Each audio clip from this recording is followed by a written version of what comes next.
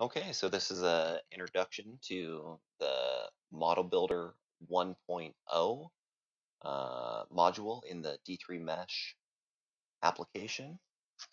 Uh, for more information and details, you can go to d3tool.com and uh, check out everything there. Also, join the D3Tool uh, Facebook group uh, for more information as well. Okay, so um, this is how the Model Builder uh, works and how it should be used. Let's check it out here. I'll do a couple examples. You can see I have uh, several that I've tried. Um, let's just start with, um, look at that, poor scan, scan quality. Okay, let's do that. Try that one out. So if I click on Model Builder, um, the first thing that you see here is it says uh, uh, this changes to Model Builder, and the text says please, uh, or sorry, press go once model is loaded. Um, so model is loaded. I can press go now. Um, auto align. What that does is uh, essentially if the, if this model is just way out here somewhere, which sometimes it can happen in Meshmixer, um, or if it's tilted or or in some weird kind of awkward orientation that's not somewhere near this area, um, you can just check that box and hit go and it'll bring it back to where it should be. Um, but we're pretty close, so I'm going to go ahead and say go. Uh, first step, occlusal. Rotate model to align with the mesh mixer grid uh, with teeth facing down, uh, then press next. So just kind of get it aligned with the grid here. This is probably the least important part, but uh, it is it is important to have the, the, at very least the teeth pointing down um, this direction and also the occlusal surface looking up towards you. So next, um, we get a side view. Next, anterior view.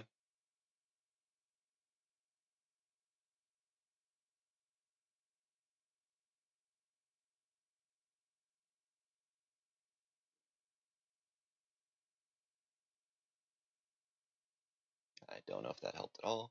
I'm going to hit next. Okay. Um, so this is the first step where this can really actually uh, make a big difference on the uh, the rest of the outcome of this model building procedure.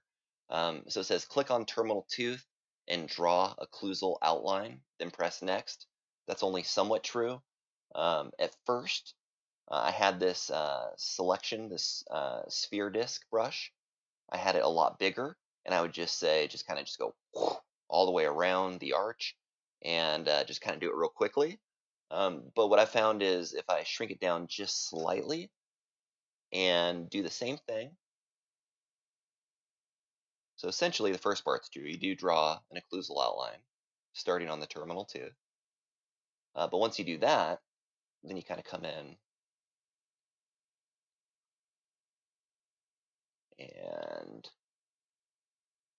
just get the sides here as well.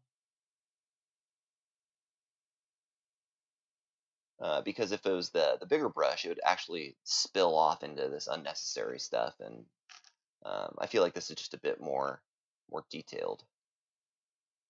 I'm just kind of selecting what I want, the good, uh, any of the information that I'd like in the model.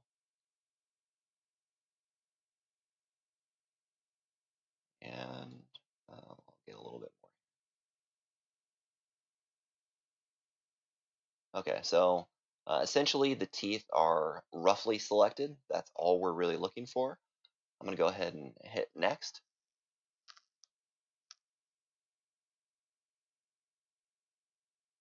It's uh, doing a few things here, but uh, the first thing it did was uh, just quickly selected uh, the inverse and deleted it.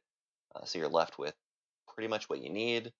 Uh, it does some other things, and I'll go into detail um, on exactly what it does, uh, possibly in a different video. But uh, for now, uh, essentially, it's just that we have the teeth that we need, and the next step says to trim away any uh, other obvious remaining outer defects. So any holes or anything like that, uh, on the occlusal surface or anything like that, no big deal, not a problem. Um, what we're really concerned about are, are kind of the wings and things that flap out like that. If you accidentally selected a, a little bit uh, too much of that. Um, but where we're at, uh, where the selection tool is at now is it's at a unwrap brush zero uh, size radius, and it's meant for kind of doing this uh, box select. Um, if you see something that looks a little suspicious here on the border, you just want to keep on left clicking around it uh, until you uh, go back to the origin and you can kind of see it's selected there. Instead of uh, hitting delete within Meshmixer, uh, this delete function works a little bit better for our purposes. I'm going to hit delete. Check uh, all the other borders out too, just to make sure uh, everything on this outside boundary just looks relatively flush, okay, no uh, no overlapping triangles, no big holes, um, or small holes right next to the border, um, or the boundary, I should say. Uh, but things look good. I mean, everything looks pretty good here. Go ahead and back that up a little bit. And we have trimmed all the other defects, so I'm going to hit next. And this part here is uh, it's just doing some background work. It's really just um, kind of preparing the outside border uh, to extrude out and kind of getting the best quality mesh and uh, and also trying to achieve the most robust set of triangles on the outside edge. So no matter so almost no matter what, when you extrude, it will always it will always succeed.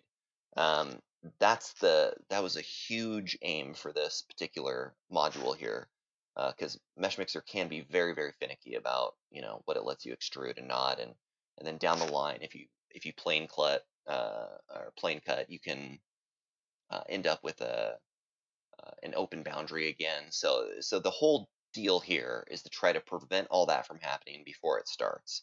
And, and the key to that is to get this outside border uh, as perfect as possible. And there's a lot of steps that go into that. But um, uh, where we're at now, it says uh, improved triangle quality at boundary. Press next to extrude boundary. Um, the reason I have it stop here is uh, so you can just kind of zoom in and check and see and go, okay, yeah, the outside border is selected. It's not a maroon selection. It's not a invalid selection. It's uh, not something kind of funky going on here. I can see that there's a, a nice orange selection all the way around the outside edge. I can hit W, kind of see what that looks like. Um, but that doesn't really matter. Um, right now, I just know that that looks good. Everything looks selected properly. I'm going to hit next.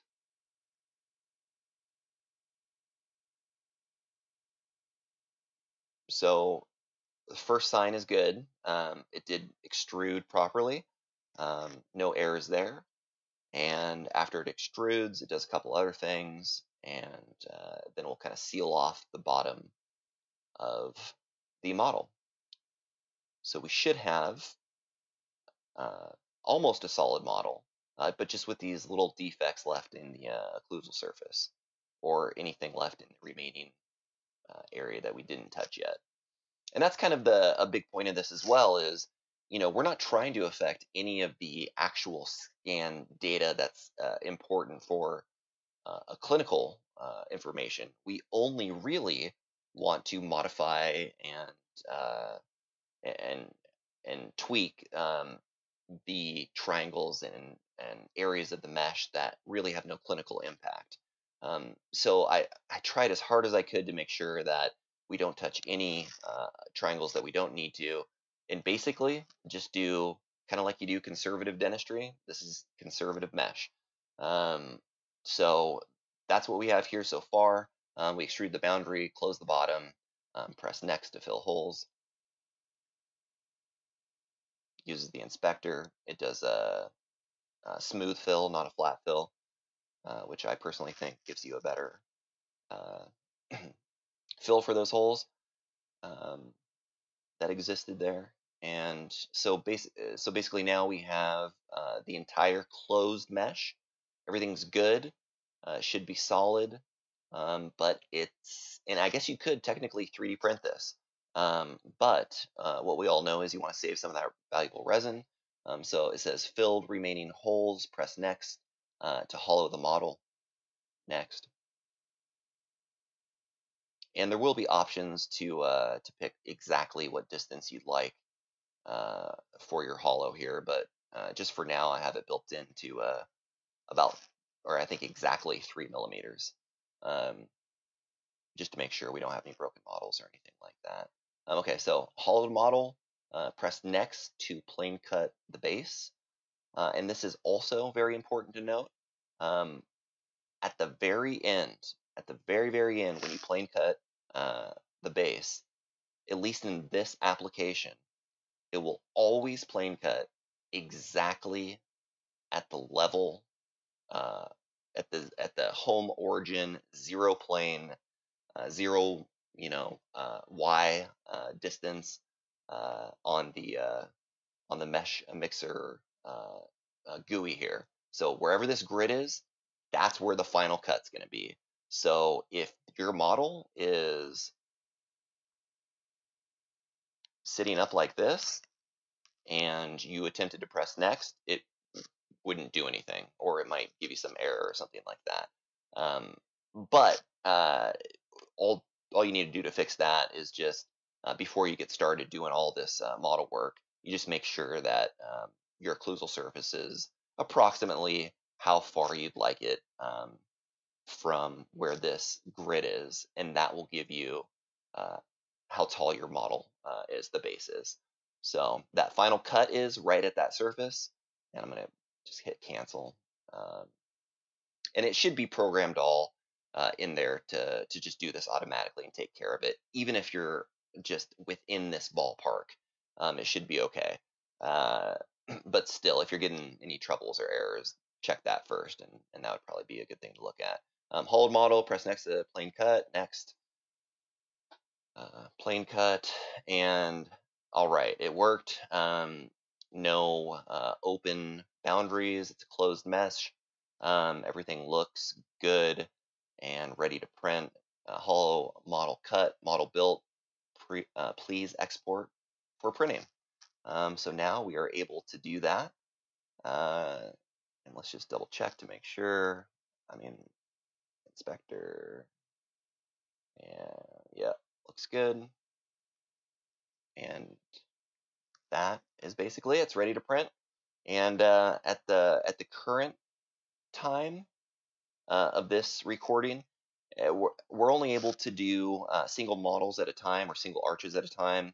Um, but truly, uh, it's very trivial to get in there and make a couple changes to where we can get this um, doing both the upper and lower uh, at the either probably not at the same time, but in a, in a way to where you can keep them aligned and in the in the same orientation, but give them both bases as well. Um, so yeah, that's basically it. That's how this one works here. And I will do a couple other videos on uh, on some more models, some some more challenging models, and uh, just some more repetitions on how this works and, and how to use it uh, so you can kind of get familiar with it. All right, thanks again so much. Uh, hope you enjoyed it. Take care and happy modeling.